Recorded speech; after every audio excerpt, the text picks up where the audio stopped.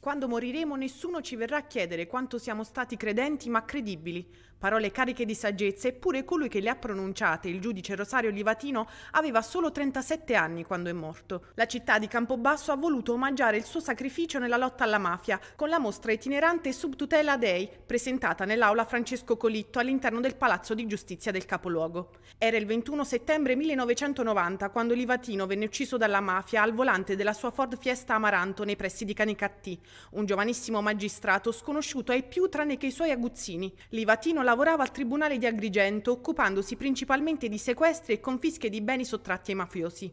Bastò questo per decretare la sua condanna a morte decisa dagli uomini della Stidda, organizzazione mafiosa dell'Agrigentino. Quattro di loro vennero condannati all'ergastolo. C'è chi a soli otto mesi dalla sua morte lo definì in maniera dispregiativa giudice ragazzino. Papa Giovanni Paolo II invece lo definì martire della giustizia e indirettamente della fede. La mostra appunto riesce a anche visivamente dare contezza di questo sacrificio del giovane collega, eh, veramente colpito mentre si recava al lavoro con i suoi documenti eh, giudiziari al seguito, con la sua agenda dove annotava anche queste sue riflessioni che sono di contatto tra la vita giudiziaria in senso proprio, ma anche la vita spirituale che lo animava e che è stata riconosciuta anche dalla Chiesa Cattolica eh, con la beatificazione.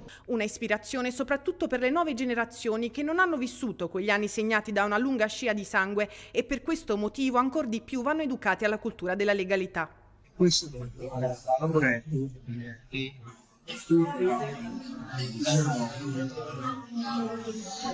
la sua esperienza ci ha lasciato un monito, un messaggio è un modo di comportarsi che noi dobbiamo sempre cercare di rispettare nella vita. Lo dobbiamo fare noi, che attualmente siamo impegnati nella, nelle vicende giudiziarie, ma dobbiamo soprattutto cercare di trasferire questo messaggio, questo monito a viene dopo di noi, alle nuove generazioni, proprio perché eh, quell'esperienza così importante eh, nel contrasto alla mafia, meglio dire più in generale all'illegalità, non venga persa.